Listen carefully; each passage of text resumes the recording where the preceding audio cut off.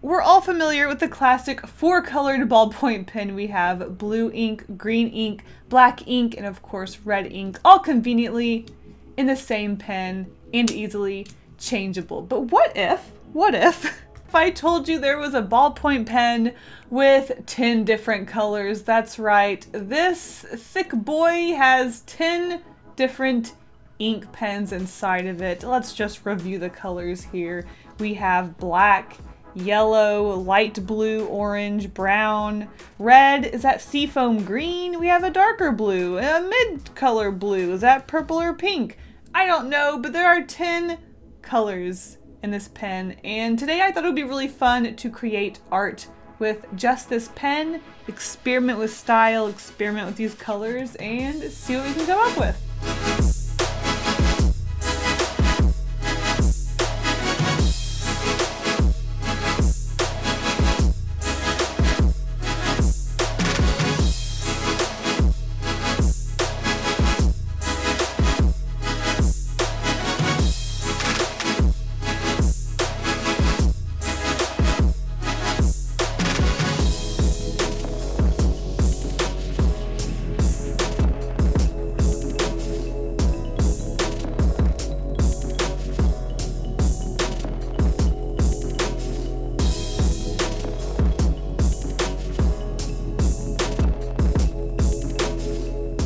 So I've sketched some ideas for each of the colors, nothing super exciting yet. We are just kind of brainstorming ideas for now. But as I was sketching, I did think of a really cool idea to mix up these illustrations. Like I mentioned, I thought it would be fun to maybe do an illustration for two colors each. So that being said, I actually thought to keep it random, I would just go ahead and combine the colors that are across from each other right here maybe sort of incorporate the colors into the ideas. So now I thought it would be really fun to maybe add a little flare of each of the colors. So I'm gonna sit here and try to put some of the red into this illustration.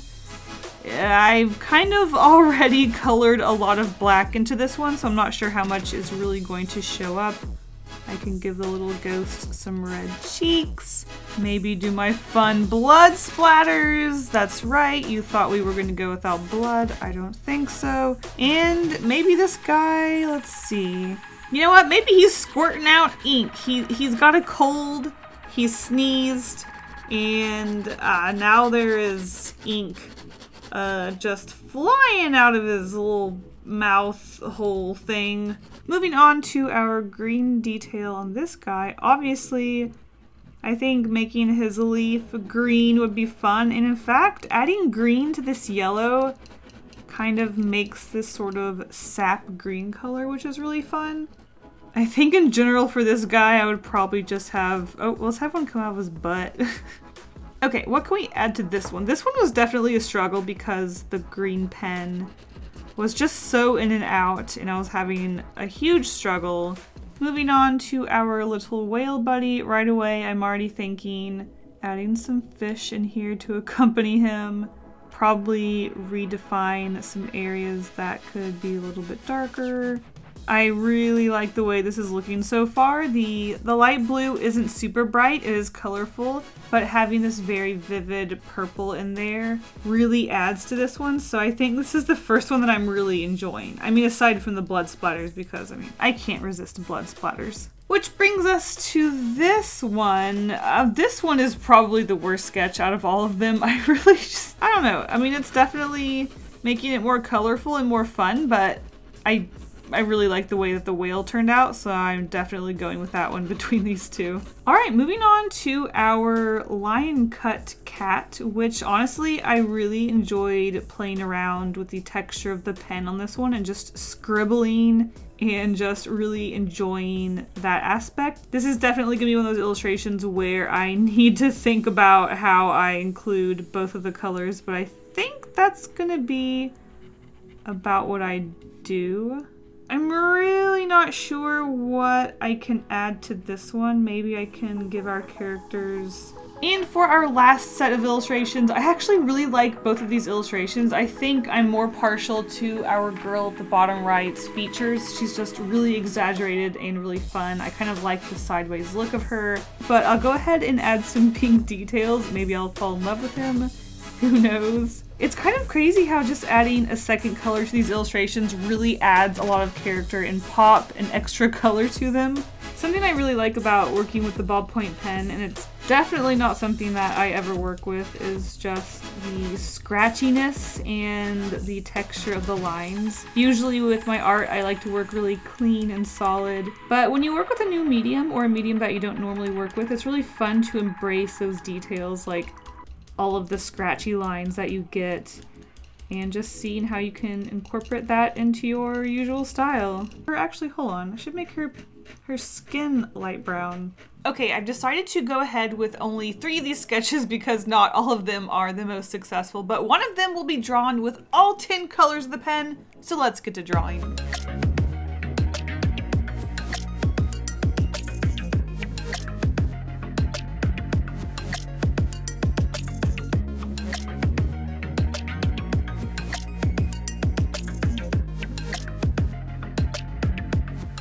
I think it's really appropriate that the first illustration I'm doing with the ballpoint pens is with the black and the red ink because normally when I think ballpoint pen, I think of a basic black pen. And to be honest, red is another pretty basic color for a ballpoint pen, so it was really interesting to jump into this first illustration with some really basic colors. But I think also come out with a really fun and playful illustration with a medium I never use. I know ballpoint pens are actually really common for artists to use. In fact, there's an artist here on YouTube, his name is Kesh, and he does a lot of ballpoint pen illustrations. I think ballpoint pens are really interesting when it comes to art because they are so cheap and available to everybody. You can go to the dollar store, your local store, a grocery store, corner store, gas station, everybody sells ballpoint pens and I think the quality between them is pretty basic. I've never heard of a very fancy ballpoint pen brand out there. I'm sure there's a lot of maybe office workers that have ballpoint pens when you get to the top and you're you're the boss and you have a fancy ballpoint pen. But I think overall ballpoint pens are just one of those universal cheap art supplies that you can just pick up and start using. That being said, I'm not used to them and it was really interesting to use and get used to, especially with my art style. I do like to work in bold, flat colors and shapes and because the ballpoint pen is so thin thin. Working with it was a lot different than what I'm used to. I did really want to embrace this material. I use a lot of textures. When you flick the pen, you get this really nice gradiented color. So it's really fun to use this to create shines, reflections in the water. I was also very mindful in the direction of the strokes I was making. So when it came to the ink coming out of the octopus, I made sure all of my strokes were going in the same direction to sort of add to the flow or texture that the ink has in the actual illustration. So for the sky, I did a bunch of small little circles to try to create a more flat, but also a little bit busy looking flat surface, if that makes sense. Speaking of sky, filling in large areas like that were very tiring on my hand and took a very, very long time. But I do think it was worth it because the flat area looks so satisfying. I really like the red and the black together, creating this sort of darker illustration with the night sky because the red was so dark. Really brought the whole mood together. We have this really interesting scene at night in the ocean. I decided, if you can't tell, to combine my two ideas with the ghost and the octopus squirting out ink. I think there's a lot of versatility here and it was a really nice warm up. I had a lot of fun with this one and the result, it's kind of cute.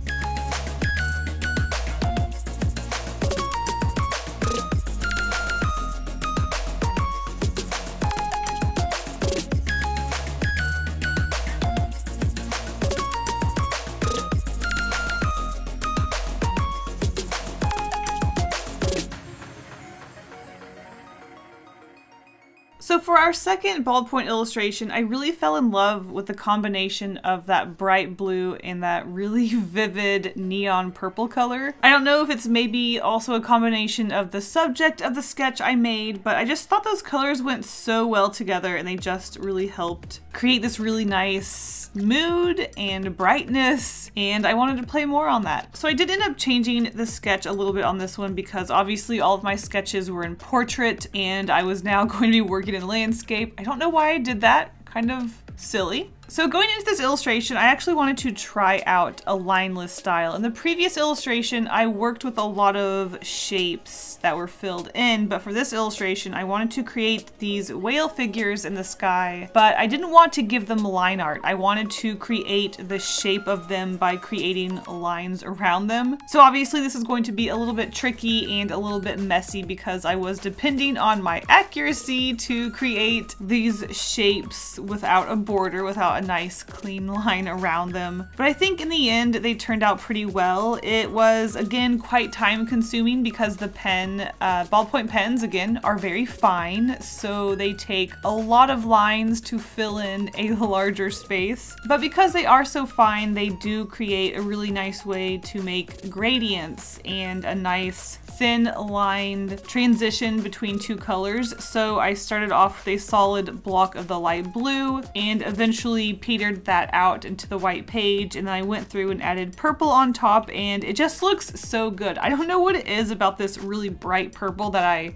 somehow like. But putting it on top of the blue worked so well and I was just really happy with how the gradient turned out. The creatures themselves are kind of silly and kind of random. I think the main part about this illustration that I really like is just the gradient in the background. It just looks so nice. I just really like the way it turned out. And especially, this is absolutely silly. But when I look at this illustration, nothing makes me more happy than the shadow of the fin of the larger whale. I put a lot of purple on it and it looks like it's fading off into the background. It's just this perfect shaded object in the background and it just looks so well the way it blends in with the purple and the blue. A shaded whale fin. It, it brings me so much joy. What can I say? And of course, this illustration wouldn't be complete without my birds or fish. We have some flying fish in the background. I think those are a really cute addition, the silhouettes of flying fish. It really brings it all together. So there it is, our sky whales.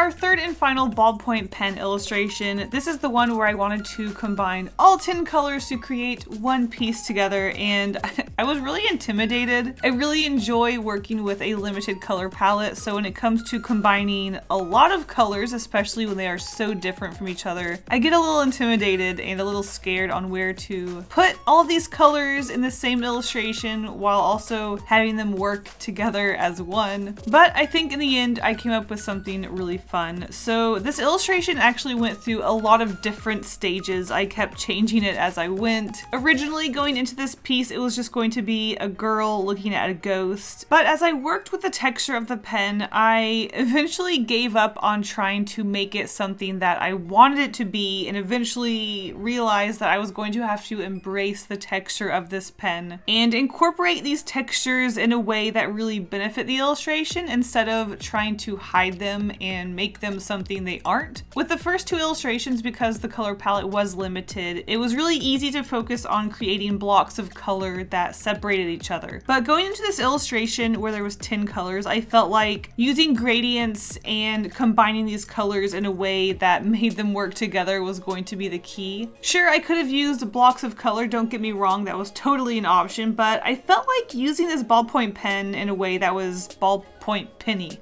So at first I was approaching her skin tone in a way that could be built upon and darker in some areas and lighter in others. But this also meant that there was going to be a lot of the pen texture that you could see. So at first I tried to make the strokes all in one direction, but then my inconsistency of making a straight line didn't look good. So I decided to make a lot of crisscrosses and I really like the way the texture kind of looked like a burlap sack, I guess. So I started to embrace the textures a lot more as I went into this illustration and I was just going to use the texture and cross hatching as the style of this drawing. But then eventually as I tried to add blush on her cheeks, I realized it just looked like she had a scratch on her face. So then I thought it would be really fun to make her look a little beat up. Maybe she had actually just died. And her little ghost friends here are there to guide her to the other side as she realizes that she is dead. So I had a lot of fun layering in colors that I wouldn't normally layer in. I was putting a lot of green and red into her skin and I think it created this kind of dark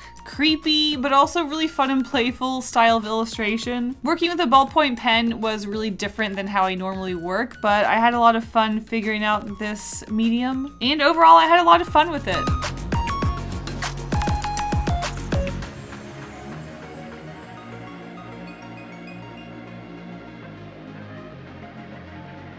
So that is it for our giant 10 color pen. I hope you guys enjoy this video. Thank you so much for watching and I will see you in the next one. Stay golden. But before I go, I want to give a huge thank you to my patrons for all of their support. You guys are seriously amazing. If you want early access to my videos, secret sketches, and more, check out the Patreon link in the description. Thank you guys all so, so much for the support. Bye!